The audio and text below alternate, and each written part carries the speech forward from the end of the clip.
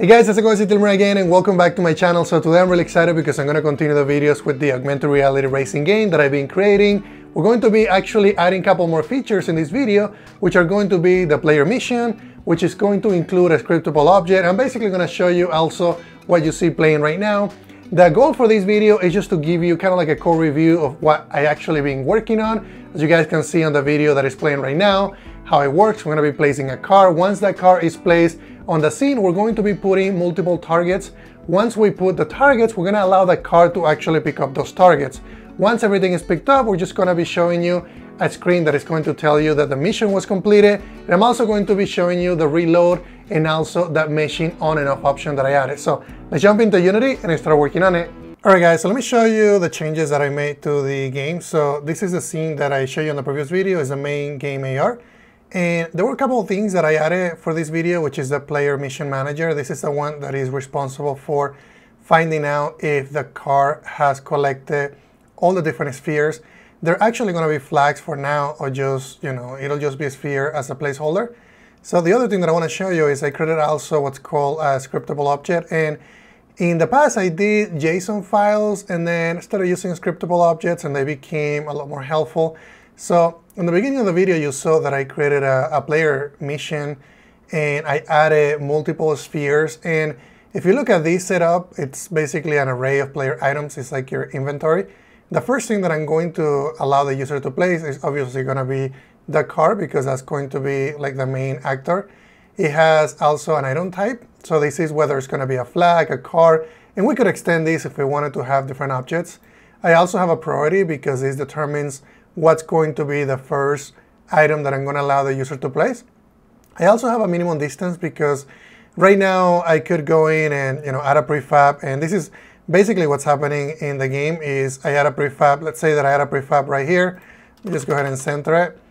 And you know, if I add a prefab right there and let's say that the car collects it, obviously it's going to be a lot bigger and the car is going is going to collect it. I mean, it wouldn't be fair if I put all the spheres here and then the car collects it because it will be a very dumb game, right? It will be a game that doesn't really have a purpose.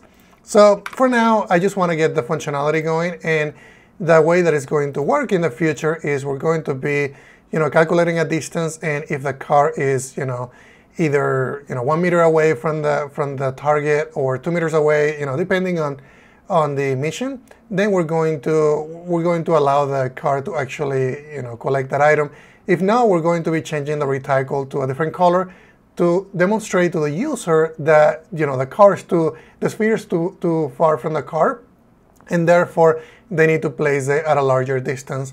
And that also is going to allow us to you know just practice and do other things with measurements.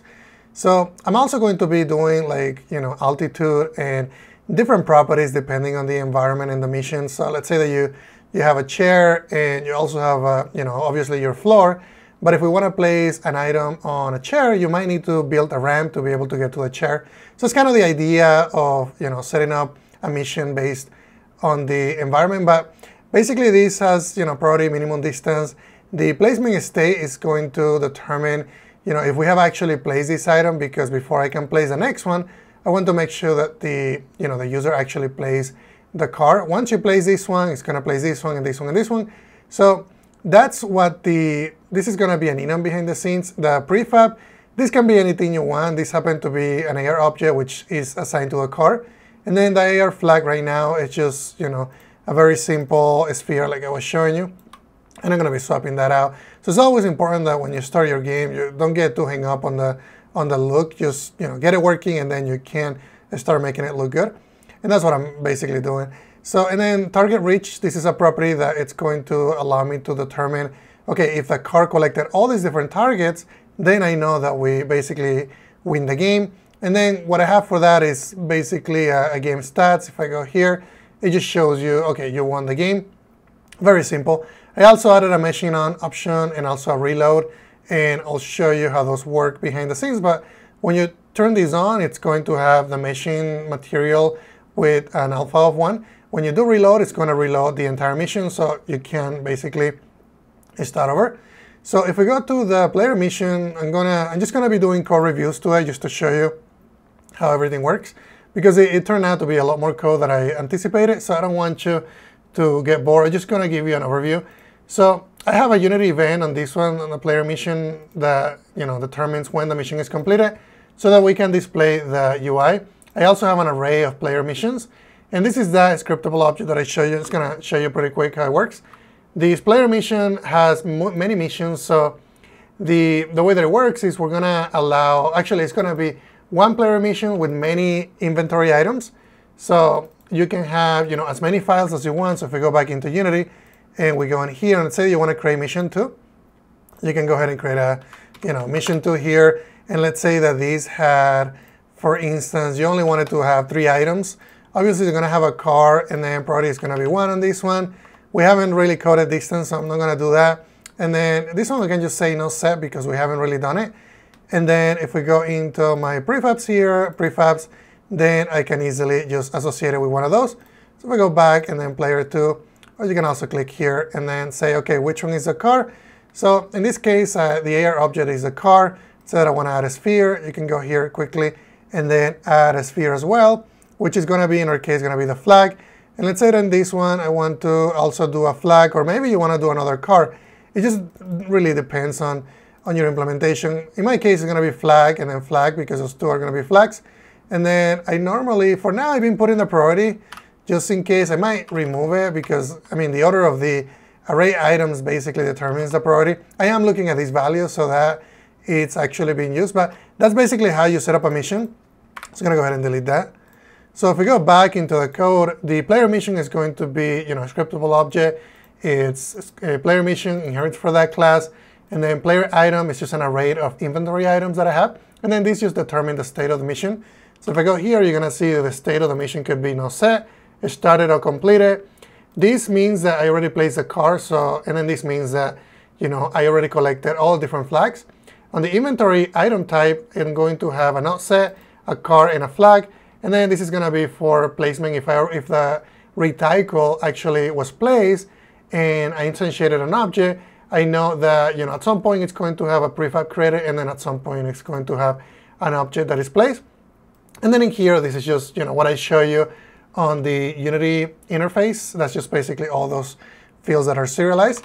So if we go back here and we go in here, you can also look at you know how I'm wiring up wiring up the omission completed. If I go here, all I'm doing is just you know on the Unity event, I'm just setting the property of that game object to true. And then I can also look at the player missioning here that is associated. If you wanted to swap these, let's say you wanted to test and duplicate these, like I said, if you want to make some changes on this one, you can go back into the player mission and then just associate it with the new mission. And then that's going to allow you to, to create new missions with just a matter of clicks, which makes it, makes it really cool. So let's get back to the player mission manager. And so this is what it is. It's just going to have an array of missions. Right now, I just have one item in that array because I only have one mission. And then just have uh, basically an index that determines what mission I'm on. And then also an instance to the player mission. This is just to determine if I already you know, collected all the different flags. It basically actually gives you a count of all different flags that I have in this mission. It doesn't really determine if I collected them all, it just does the count. Then on the awake method, I call start mission. And this just cleans everything up, make sure that I am cleaning up all my flags and then basically the car. And the, the reason why I need to also clear it out, the player items and the current mission, is because this is a scriptable object, so it's going to be saved to the disk. So let's say that I have that mission halfway through and I reopen the game. It's actually going to have whatever the state of this object was at that point. So I want to make sure that when we start the game, we're clearing everything out. So I'm destroying objects as well. So we get back here, that's what I do on here. Handle mission completed, it's actually called from the car controller. And if we go in here, this is how I determine if I actually collected, uh, in my case, it's a flag. I get a place object item, and if I look at this item, basically ha has a link to the player item. And then in here I say, okay, if this item is not null, just to make sure that I did get a flag, and the layer of this one is a target, then I say, okay, this target has been reached. I set the actual visibility to false. Right now it's just visibility. I might do an animation with a flag at some point, and then I just handle missions completed. This is the one that is going to determine, okay, how many, how many targets do I have remaining? And I just have some login information for debugging. And if the remaining target count is zero, Then I set the player mission state to completed. And then I also invoke my Unity event and doing a nullable here. The other thing that I also do is I also, for, for this case, I need to check the placement, the placement mission status.